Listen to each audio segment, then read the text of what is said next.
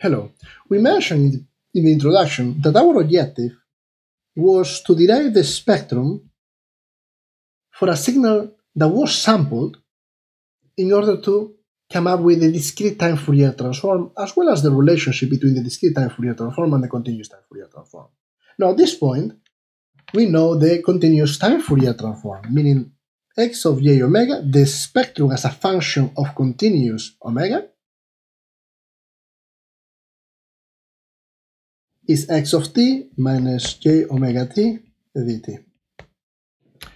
Now, in order to apply the continuous time Fourier transform, that is what we have here, our ideal spectrum analyzer, we need to have an x of t. Notice that's a signal that is t is a function of a real value, it's continuous time. Okay, x of t is a continuous time signal. It's continuous time. So if we want to see what the spectrum will be of a signal that we sampled, we need to model the sampling process in continuous time so that we can plug it into this equation. Does it make sense? And so consider a signal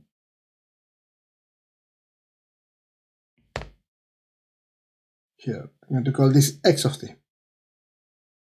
That's a continuous time signal. If we have a mathematical expression for it, we can plug it into our continuous time Fourier transform and find the spectrum as a function of omega. That's the first requirement, right? Continuous time and mathematical expression for it. Now, what about if we were to sample it? If we were to sample it, this would look something like this. I'm going to use another color.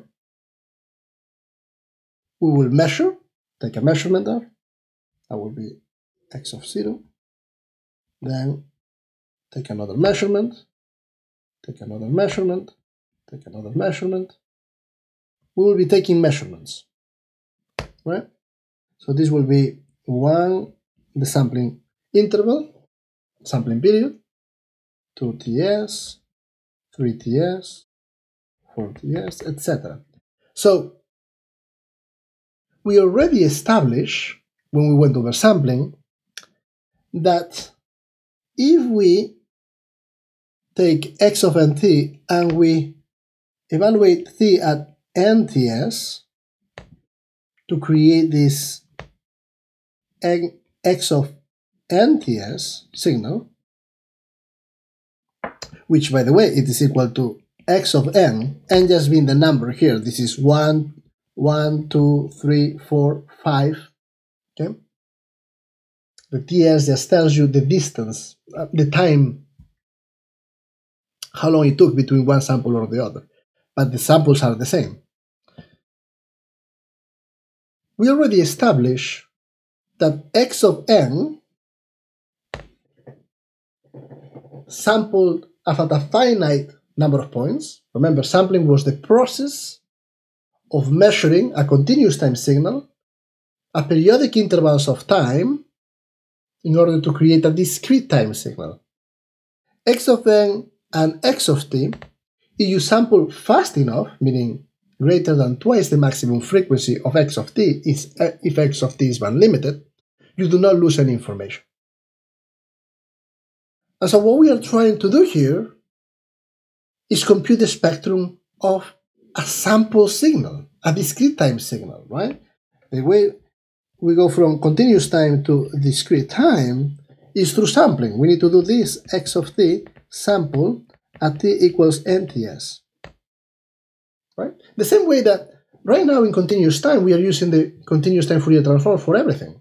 For signals that are uh, periodic, signals that are quasi-periodic, signals that are periodic, any signal that is continuous time and for which we have a mathematical expression, now that we allow impulses to play the game, so to speak, we are able to find the spectrum for. So we would like to use it now to find the spectrum of a discrete time signal. And to do that, we will have to say, well, how do we model the process of sampling in continuous time? Meaning we would like to have an x of n signal. Um, if we have this that sample, we would like to have a signal sample of t that this is still continuous time, we'll put it. And so it says here, use the properties of the impulse function to model the sampling process in continuous time. That is, create a continuous time signal, xs of t, that is a sample version of x of t at this time, and provide a graphical representation. Well, notice that anytime that we're working in continuous time, where the, the, the variable is, is time, t is in the real line, you cannot just have something occurring at a point. If you have that, we need to have impulses, meaning in order to model this, we will need to have, at each point where we sample, we will need to have an impulse. That's what we will need to do.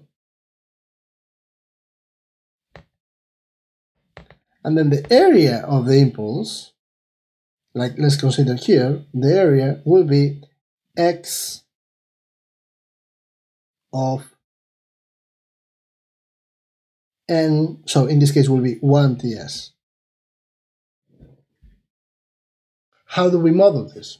Well, let's do it. Let's pick one of them. Let's imagine that we wanted to pick this impulse, a 4ts. That, thing, that impulse will be delta of t minus nts for any for any one it will be nts evaluated at n equals 4 right and then we are multiplying that times x which was x of t but also at nts that's what we have here. This will be equivalent to x 4 times ts delta t minus nts. This will be one of them. I will pick that and 0 for all the others. What this shows you clearly is that we could add this for all the other ends, meaning we can do, if we multiply x of n times I'm going to add a bunch of impulses, an impulse train, delta of t minus nts for n equals minus infinity to infinity. What this is is impulses. Looks like this, right?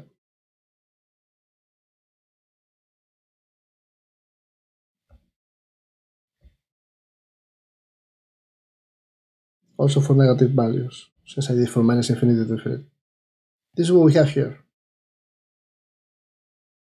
Impulses all with area of 1 at nts, right? Well, n belongs to c. Notice 1, 2, 3. That's what we have here. So for n equals 0, we'll, we'll be talking about here 0. For n equals 1, we'll be talking about this impulse, n 1ts n equals 2, 2ts. n equals minus 1, minus 1ts. You multiply that times your original function,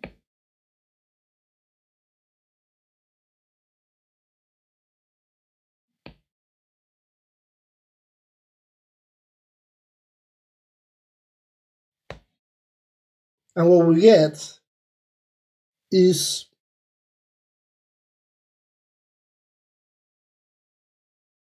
the sampling process that we were expecting, right? We get, this is the original function,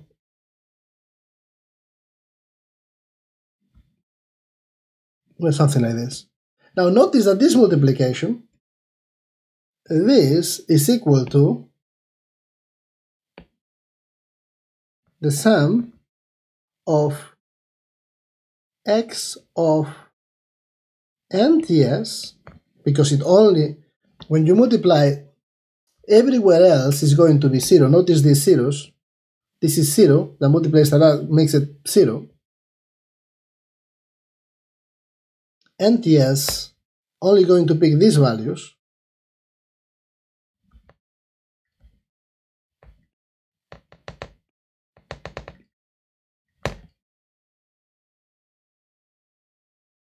delta t minus nts for n equals minus infinity to infinity. Okay, so let's just remember what we were trying to do. Our objective was to find the spectrum of a signal that had been sampled, that is a discrete time signal. But our spectrum analyzer requires a continuous time signal. So we need to have a continuous time signal that model the sampling process. And that's what we have done. Notice, we can say x sample of t, which will be x of t, t evaluated at nts, at those periods of time, is equal to sum x of nts delta t minus nts n minus infinity to infinity. Or our continuous time signal is equal to